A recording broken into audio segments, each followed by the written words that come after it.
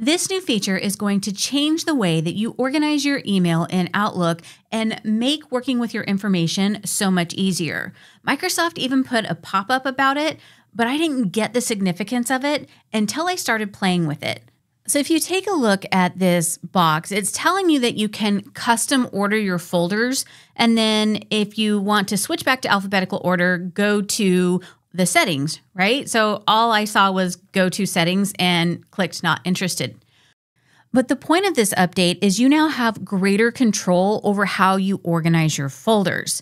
So, in the past, you had your standard folders, they were at the top and you couldn't change them. Then, when you started adding your own folders, they were automatically alphabetized and you couldn't change that either. So, the trick that I used to teach was to put a number in front of a folder to force the organization. But you don't even have to do that anymore. What you can do now is go to folders and click on the three dots, and then select create new folder from the list and give it a name. Then click the check mark to accept it, and the new folder just populates towards the top of the list. And then from here, you can drag and drop it into any order that makes sense to you. I want professional development to be right under my info sessions, which is my webinars. And then, for example, I want archive to be all the way at the bottom because I hardly ever look at it. And you can continue organizing all the folders in a way that makes sense to you. But the cool thing is, you can even take things like draft sent items and move them to the bottom now. So you're not stuck with any of the Microsoft pre organized folders.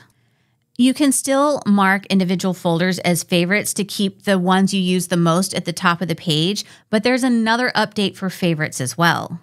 You can now add group email boxes into your favorites. So instead of having to monitor your email in the inbox and then switch to the groups tab to monitor group emails, you can make the group a favorite and see them all in one place. To do that, click the three dots next to favorites, click add favorite, and on the list, you should see your group mailboxes. If you have a longer list, you might have to search for it. Now, if you're the type of person who prefers to have your folders automatically alphabetized, it's really easy to switch it back. From the ribbon at the top left side of the screen, we're on the Home tab.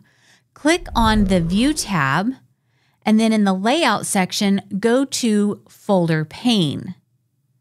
Click the drop down arrow and go to the Select Folders section. By default, Custom Folder Order is selected you can just switch A to Z and it's automatically going to put it back into the classic view.